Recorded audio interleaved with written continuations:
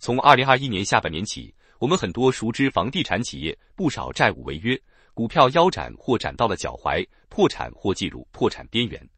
拉开年根的暴雷名单有蓝光、新力、阳光城、奥园、富力、金科。世茂、远洋集团，当然最重量级的还是昔日的民企地产行业的三巨头恒大、融创、碧桂园，他们带着天量的债务规模躺平，最后让全民为其买单。遥想二零一七至二零一八年，这些地产企业扶摇直上，正是风光无限时，头部企业老板轮流做首富，股东也赚得盆满钵满，没几年就落了个轰然倒地的结局。辩证法告诉我们，事物都不可能朝着一个方向永远发展下去，迟早要遭遇来自对立面的否定。月盈则亏，萧条的唯一原因就是繁荣。任何一个阶段都不可能长期存在，到达某个临界点之后，就会朝着下一个阶段的演进。人类阶级社会的历史隐匿于周期率的背后，大多国家都未必能跳出历史周期，更何况是房地产企业了。知所从来，方明所去。让我们来经历一遍一九九八年到二零一八年的周期，乃至康德拉季耶夫周期的谷底，方能知道接下来要往何处去。作为周期之母的房地产，不管你愿不愿意承认，只要利用了资本，就不可避免的要面对资本的负效应，即我们必然要面对一个又一个经济周期。提出库兹涅茨周期理论的经济学家库兹涅茨认为，现代经济体系是一种持续不可逆转的变动及长期运动。而房地产就是长期运动的他妈，非骂人。从逻辑上，资本主义的长周期——康德拉基耶夫周期开启的根源，是由技术革命带动新一波的扩散，催动着厂房与设备更新。现实增长除了作为技术革命的主导产业外，其增长的最核心载体还是房地产周期，也叫库兹涅茨周期。为什么是康波里的核心载体呢？这里可以联动一下政治经济学，在所谓的上升期，将剩余价值投入到基建和地产为代表的固定资产中，是常见的修复手段。把工厂、住宅、交通网连接起来，使城市不断延伸，农业人口不断转移，商品消费普及化，资本才得以再生产。房地产最初的本质是制造业，它的产业链、供应链非常绵长，上游到水泥、钢材、玻璃、化工。木材、工程机械，下游到地板、瓷砖、涂料、门窗、洁具、装修、家电、家居等，共计五百个行业。举个例子，我国东部和沿海一些鼎鼎有名的制造业城市，这么多年产业结构和房地产都有密切的关系，能拿得出手的制造企业，基本都参与了房地产上下游。这些制造业的产能随着买房需求暴增，一荣俱荣，反过来也会吸引大量资本进驻房地产。然而，房地产是一个时间周期很长的行业。开发商从买地到开发，到在所有新的房地产项目竣工、进入销售市场之前，要再经历十年时间。这个时候，往往会借助虚拟资本。当流程全部完成的时候，市场供给可能已经过剩了，普遍出现过度投资这一现象。经济波动的风险以及建筑环境内过度积累的资本问题会变得十分突出。资本往往通过全球不断占领新的空间和人口市场，缓解自身过度积累的危机，这样危机就会向全球结构加深和扩大。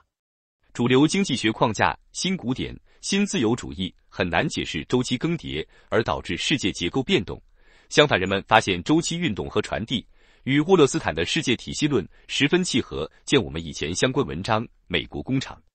在世界体系里。房地产周期会从中心国家、中心附属国、半边缘追赶国、边缘资源国家依次传递。以我们身处的时代来说，自上世纪九十年代初，中心国家美国开启资本主义长周期第二轮的房地产周期，到九十年代末扩散到了作为追赶国的中国。中国从一九九八年启动了房地产货币化改革，有了商品房的概念，这是一个周期的开始，视为复苏期。前面我们提到了。房地产周期是其他周期他妈，这一波地产投资加城市化大跃进孕育出了一个产能周期——朱格拉周期，持续七八年之久。期间出口规模增加，彼时美国进入了房地产繁荣期，这是对当时美国互联网股市泡沫危机的转移，制造业投资扩张，设备加速更新换代，也就是所谓入市的黄金年代。直到二零零七年，泡沫彻底破灭，次贷危机席卷全球。为了应对这次资本主义危机，中国二零零八年开启了全国范围的棚改，开启了大规模的基建投资浪潮。通过消耗全球百分之六十的铜矿和一半的铁矿石和水泥，挽救了大宗商品价格，将众多的边缘资源国拉出了经济崩溃的局面。在国内，此举试图将东部沿海的工业区与内地建立交通网，把高速路修进西南大山，同时加强了南方与北方消费市场的关联，房地产周期进入繁荣期。从房价上，从二零零八年以来就一路高歌猛进，在二零一三年达到小高峰，房屋新开工面积年度累计值在二零一三年底达到峰值，到达了繁荣的顶部。但到了二零一四至二零一五年却逐渐下落，也就是在这时候，我国房地产周期进入了衰退期。二零一四年后，资本过剩，新增 GDP 的多数是固定资本，结果却导致增长率下滑。土木人、冶金人、机械工程人的日子从这一年开始逐渐不好过了。随着二零一四年中国经济增长的放缓，大众商品价格下跌，巴西、智利、厄瓜多尔等众多边缘资源国的经济也产生了混乱。回过头来看，二零零八至二零一三年是房地产最火的五年，但为什么是二零一五至二零一六年反而给人感觉房价还在大涨，地产商仍旧风风光光，看得人牙痒痒？大会房价增速加快，与去库存大政策以及棚改货币化直接创造了大量二三四线城市购房需求有关。两套操作导致二三四线城市普遍上涨，影响传导到了占多数的中国人，给人房价永远涨的错觉。但实际上，二零一六年开始的房地产出现了大量炒家，同时金融机构大范围收购不良资产并全面进场。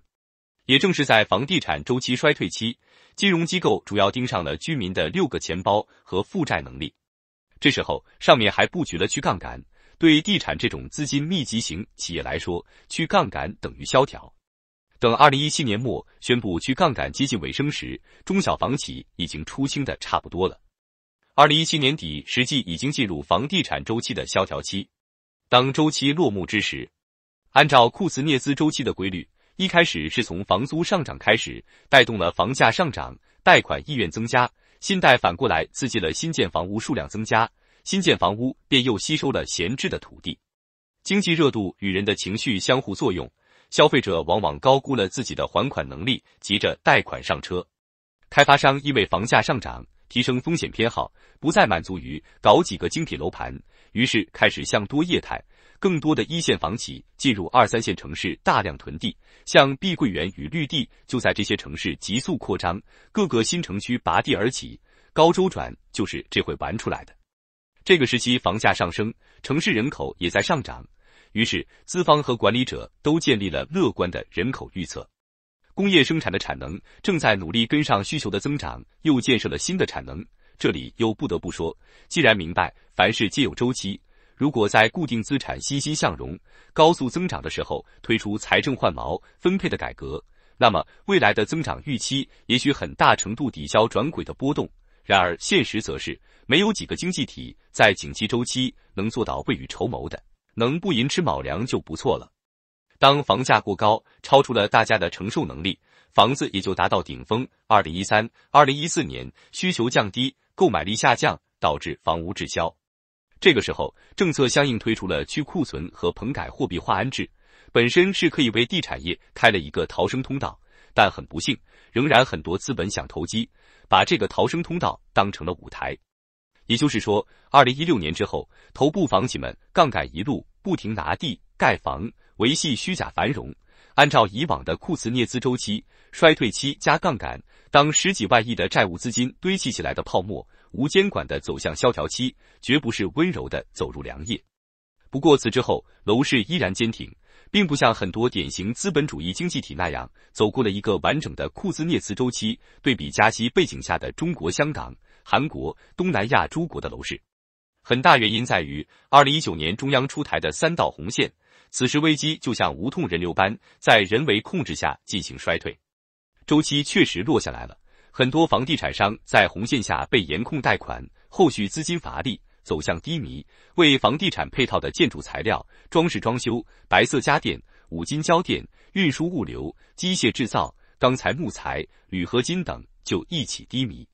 当然，这里不是在复读房地产压舱石、大不能倒这种陈词滥调。真正的问题往往在于周期早期，在繁荣期，资本积累导致了资产和收入不平等的扩大。伴随着房地产市场的活跃和房价上涨，富人能够通过投资房地产获得更多的收益。我国收入基尼系数的高峰出现在房地产进入繁荣期二零零八、二零零九年，故而分配不均在经济周期的顶峰阶段是十分显著的。